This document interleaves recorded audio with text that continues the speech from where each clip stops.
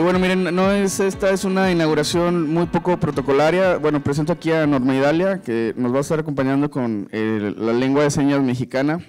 Eh, tenemos una transmisión en vivo, varios recordatorios. Tenemos transmisión en vivo eh, durante todo el Congreso desde la página del Congreso Nacional de Ciclismo Urbano en Facebook, este, para que la puedan compartir, ayúdenos a compartir en sus redes, pues entre más gente se conecte a los diálogos, a la discusión, pues eh, creo que es mejor, ¿no? Eh, al final lo que buscamos es que haya mucha reflexión, eh, apostar, digamos, a, apostarle al pensamiento crítico con algunos de los contenidos que estamos ofreciendo en este congreso.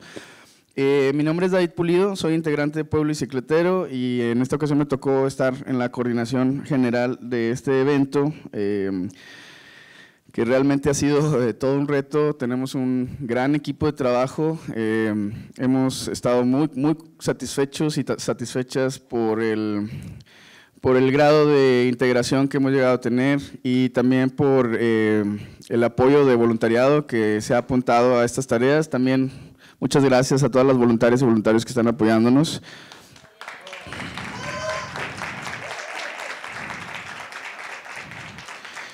Les invitamos a que las discusiones a lo largo del día y mañana también eh, las publiquen en sus redes sociales con principalmente dos eh, etiquetas o hashtag que viene siendo eh, hashtag 11 Bicicongreso MX y hashtag desde la calle, que básicamente es el desde la calle es el lema.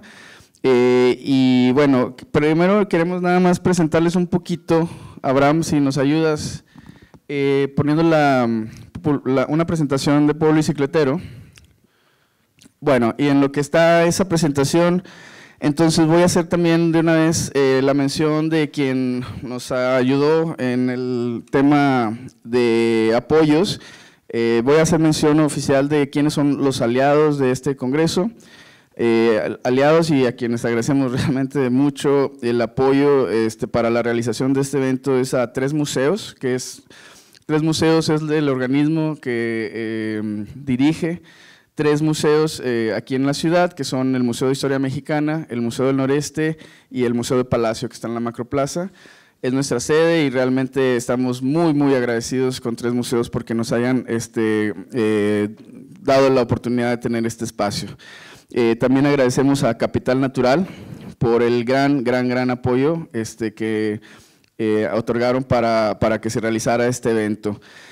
Eh, en patrocinadores tenemos también, y agradecemos eh, a la UDEM, la Universidad de Monterrey, a Greenpeace México, al Instituto de Políticas Públicas para el Transporte y el Desarrollo, el ITDP, al Consorcio Mexicano de Hospitales y al Instituto de las Mujeres Regias. También agradecemos a los siguientes instituciones colaboradoras, del Congreso, a la SEDATU, a Camina, Centro de Estudios de, Centro de, Estudios de Movilidad Peatonal AC, Cómo Vamos Nuevo León, Todos en Bici, Desarrollos Delta, El Poder del Consumidor, Videódromo Monterrey, ayer la pantallota de, la proyección documental era de Videódromo, y a Diamacero. Eh, hay también a reciclaje de cables electrónicos y metales. Bien, bueno, eh, puedo empezar platicando nada más rápidamente, tenemos 10 minutos. Pueblo Bicicletero es una organización eh, completa, bueno, es, una organización completamente ciudadana, es un colectivo, no somos AC, no somos fundación, somos un colectivo ciudadano que nació en el 2009 eh, y nació con una idea, es, es, una historia interesante a un par de compañeros. Aquí en el staff está Luis Gómez, uno de los este, fundadores. Eh, se mm, participó en un Festival de la Tierra en el 2009, que, un Festival de la Tierra que organiza eh, una organización que todavía existe que se llama La Bola, que trabaja en cultura de paz. Eh, y este, este festival pues convocaba diferentes actividades y se decidió participar Luis con otro amigo, Oscar, decidieron crear una, una protesta rodante para participar en el evento. Y pues la protesta era básicamente pues, hablar del tema de la contaminación en la ciudad, la falta de espacios para la movilidad no motorizada, eh, entre otras cosas. y es, ese, esa acción eh, como que sembró una semilla bastante fuerte en las personas que participaron o personas que conocieron de esa actividad y se empezó a dar el, digamos, como el salto a, a decidir hacer ya una actividad continua de esa rodada y al mismo tiempo empezar a formar un colectivo y se decidió ponerle pueblo bicicletero porque ustedes saben que ese es un concepto, eh, es muy popular, pero al mismo tiempo es, eh, se usa eh, despectivamente el concepto. ¿No? Este, escuchamos, ¿cuántos políticos no hemos escuchado? no, no queremos ser un pueblo bicicletero.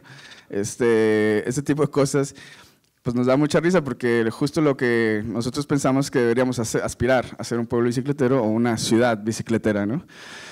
Y eh, entonces eh, ese fue un punto central de entrada, eh, combatir ese estigma del concepto y, y, bueno, este, empezamos con la actividad que hasta el momento sigue siendo como una de las actividades que más nos reconoce la gente en la calle, que son las rodadas bicicleteras. En ese tiempo pues no había paseos urbanos en la ciudad, además era un contexto, como ustedes saben, pues, este, por allá del 2009 ya estaba esta guerra eh, contra el narco y aquí nos tocó pesado y nos sigue tocando pesado en todo el país. Es una, es una, eh, es, una situación muy fuerte de violencia que vivimos en el país y en ese tiempo... Eh, pues estaba la cuestión de no salir a la calle, este, las recomendaciones de las autoridades, no, no, no salgan, ¿no? Este, y nosotros eh, decidimos que ese no era un, más bien que lo que queríamos era no detener ese proceso de las rodadas eh, para ocupar el espacio público, para ir a, diferentes zonas de la ciudad eh, y, digamos, socializar el tema de hacer, ocupar los espacios. Empezamos a hacer rodadas primero un año por, una por mes, luego empezamos cada 15 días, y actualmente las hacemos todos los domingos. De hecho, este domingo pues vamos a tener una de las rodadas, es, vamos a salir exactamente de nuestro sitio histórico, que es la explanada de Colegio Civil, que desde ahí, desde hace 10 años ya hemos estado haciendo estas rodadas. Entonces, bueno, aquí está ya la presentación, pasamos a la otra. Este, también eh, una cosa en la que empezamos después ya a desarrollar, eh, conforme empezamos a ver diferentes problemáticas, eh, sobre todo al inicio, digamos en los primeros dos años, eh, empezamos a ver que ni siquiera estábamos contemplados bien en los reglamentos de tránsito, eh, ni siquiera está este derecho a, poder transitar de una manera clara en el reglamento. Hicimos propuestas de modificación al reglamento cuando estaba en el alcalde Larrazábal, conocido por este, ser un este, alcalde muy corrupto.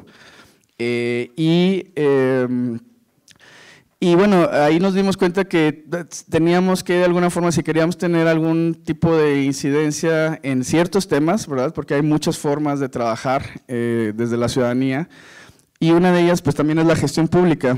Entonces, actualmente eh, participamos en el desarrollo del plan para el área metropolitana, del plan, eh, plan de movilidad en bicicleta para el área metropolitana de Monterrey, que es una política pública completa que propone una red de ciclovías, programas culturales, este, modificaciones normativas y quedó encajonado y ha sido una lucha este, bastante complicada tratar de que municipios y gobierno del estado implementen proyectos emanados de ese, de ese plan, pero al menos tenemos digamos esa, esa base. Y eh, también estamos eh, ahorita en, pues tal vez algunos siguieron la, discusión de ayer del panel de ley de movilidad, estamos en el, tema de la gestión, junto con diversas organizaciones de la sociedad civil, presentamos una iniciativa de ley al Congreso del Estado para tener una ley de movilidad eh, con un decálogo que ahí se ven, digamos, los mensajes de, es como es, no vamos a aceptar que se apruebe una ley eh, que no contengan esos 10 puntos. ¿sí? Y principalmente cambiar la visión sistémica de cómo se, se maneja los, el transporte y la movilidad en la ciudad. Bien, eh, también este, nosotros somos un grupo que también hacemos protesta social.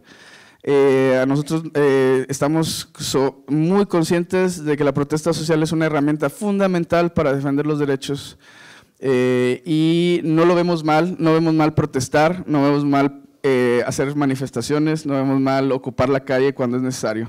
Eso es, de hecho, un derecho básico garantizado en la Constitución y los derechos que nosotros ahora tenemos justamente fueron ganados de esa forma. Entonces, eh, eh, no estamos de acuerdo, digamos, en esa crítica a la protesta social nada más por, por sí mismo, ¿no? Este, hay, que, hay que entender que el, el, contexto de nuestro país y que es un derecho hacer eso.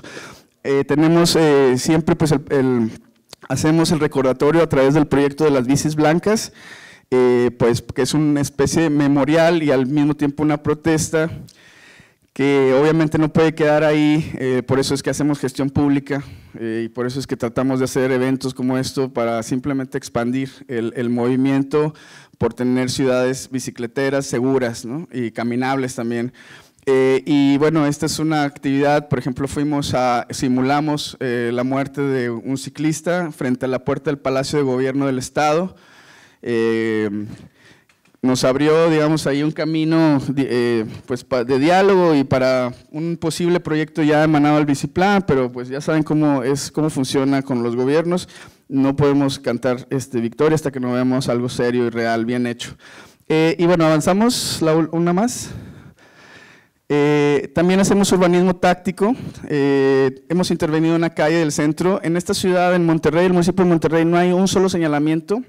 Eh, que indique el derecho de los ciclistas a ocupar el espacio, a pesar de que en el reglamento de tránsito metropolitano, el artículo número 2, establece claramente la famosa jerarquía esta, eh, que se habla de la movilidad sustentable. Eh, en primer lugar, los peatones. ¿no? El artículo 2 dice, la jerarquía en el espacio público de, esta ciudad es, en primer lugar, peatón, en segundo lugar, ciclista, en tercer lugar, usuarios del transporte público y así. La realidad es que eso es papel muerto, porque no hay aplicación de ese reglamento y tampoco está una ley de movilidad que, eh, si una autoridad no aplica ese reglamento, pues hay una responsabilidad. ¿no? Entonces ahí hay mucho por hacer y entonces como no hay infraestructura ciclista, pues nosotros la estamos pintando. Básicamente estamos sustituyendo el trabajo de las autoridades. Esta es la calle Modesto Arriola en el centro de la ciudad. Este, ya nada más me quedan dos minutos. Eh, pero bueno, es, eh, digamos, los triángulos de prioridad ciclista, esta es una calle normal de, colonia habita, eh, habitacional, es de 30 kilómetros por hora, por default es una calle de prioridad ciclista. Entonces estamos pintando los, los, los, letreros de prioridad y los letreros eh, verticales que se ven al lado derecho. Eh, que también son, digamos, infraestructura que debería existir. Este viernes, de hecho, hicimos una intervención eh, este jueves, perdón, por la noche y la presentamos en la mañana a los medios y hicimos una intervención de urbanismo táctico junto con Camina, Centro de Estudios de Movilidad Peatonal AC, eh, en el cruce de Aramberry y Suazua, que pueden visitar, está muy cerca. Todavía están ahí los conos. Hicimos una intervención para marcar ciclovía, cómo debería estar pintada según el manual de calles de la SEDATU, ¿no? que esa sería la apuesta de que los municipios y los gobiernos adopten ese manual, porque actualmente construimos calles con el manual de la Secretaría de Comunicaciones y Transportes, es decir, con un manual para carreteras. Así es como se construyen las calles de nuestras ciudades, es, un, es una locura. Entonces, eh, bueno, este tipo de intervenciones es pues para eh, que jalar apoyo de la ciudadanía y concientizar eh, la urgencia que tenemos eh, de que exista esa infraestructura. El municipio de Monterrey anunció hace una semana que iba a gastar 60 millones de pesos en, en señalética, solo, solo automovilística y peatonal, ¿no?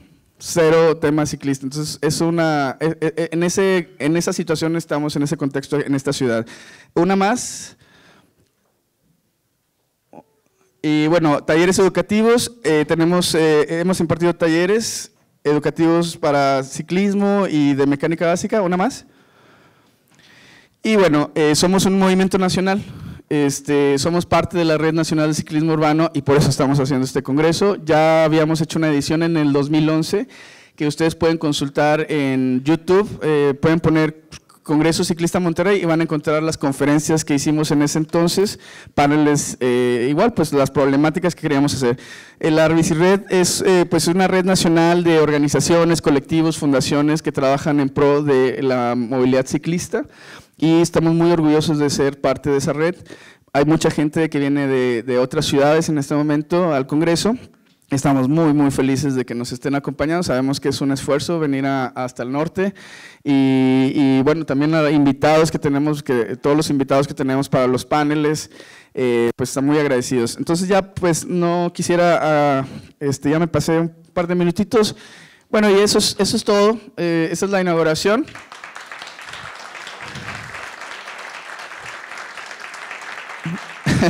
Eh, de nuevo, sigan las redes. Hashtag 11 Congreso MX, hashtag desde la calle.